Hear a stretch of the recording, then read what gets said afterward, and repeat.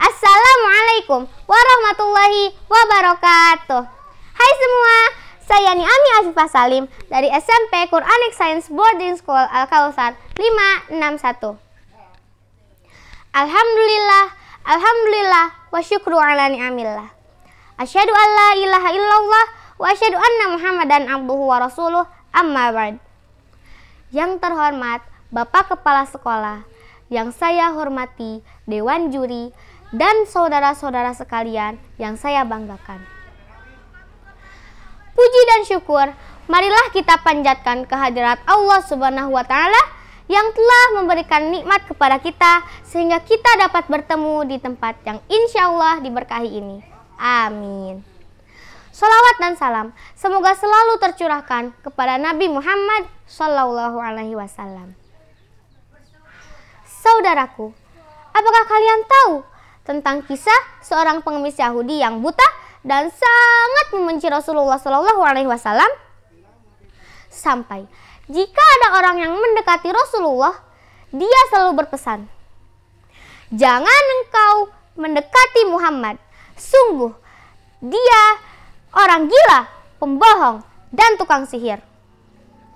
Padahal Rasulullah Shallallahu Alaihi Wasallam gemar mendatanginya membawakannya makanan, dan menyuapinya dengan penuh kasih sayang.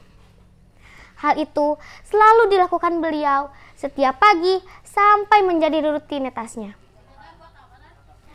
Hingga suatu ketika Rasulullah Shallallahu Alaihi Wasallam wafat, menyisakan duka yang sangat dalam, baik untuk keluarga, sahabat, maupun kaum muslimin pada umumnya. Sementara itu, kepemimpinan umat dipegang oleh Abu Bakar As-Siddiq.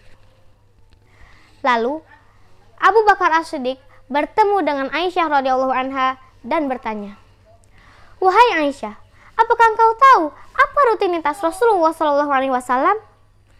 Maka Aisyah radhiyallahu anha menjawab, "Rutinitas Rasulullah Shallallahu alaihi wasallam suka memberi makan pengemis Yahudi yang buta."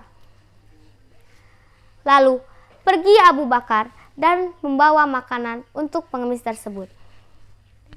Sampailah Abu Bakar dan menyuapi si pengemis tersebut. Dan si pengemis itu pun berkata, Kok terasa aneh? Tidak seperti biasanya. Karena yang biasanya itu Rasulullah Shallallahu Alaihi Wasallam suka menghaluskan makanannya terlebih dahulu, lalu menyuapi kepada si pengemis tersebut.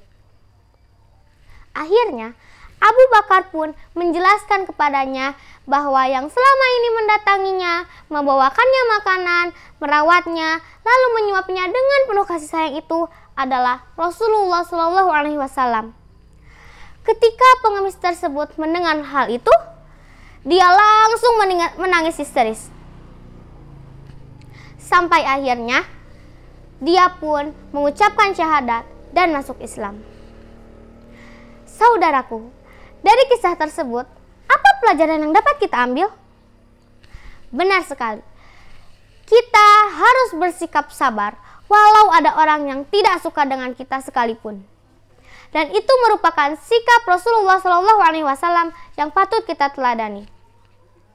Saudaraku, seperti yang kita tahu bahwa Allah Subhanahu wa taala telah berfirman dalam Quran surat Al-Qalam ayat 4 yang berbunyi A'udzu billahi minasyaitonir rajim. Wa innaka la'ala khuluqin 'azim. Dan sesungguhnya engkau benar-benar berbudi pekerti yang luhur. Saudaraku, dari ayat tersebut kita harus memiliki sikap yang baik seperti Rasulullah Shallallahu Alaihi Wasallam.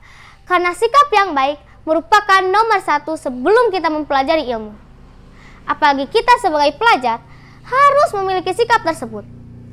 Karena jika kita telah mempelajari banyak sekali ilmu dan sikap kita baik, maka akan terasa manfaatnya baik untuk diri kita sendiri maupun orang lain. If you have a lot of knowledge and good attitude, then you will benefit. Will be filled for you and for everyone else.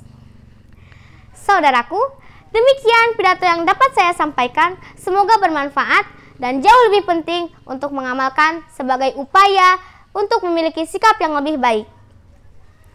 Ambil pisau buka ketupat, sayur lodeh boleh campurkan. Jika ada ilmu didapat, jangan lupa diamalkan. Terima kasih atas perhatian Dewan Juri dan saudara-saudara sekalian.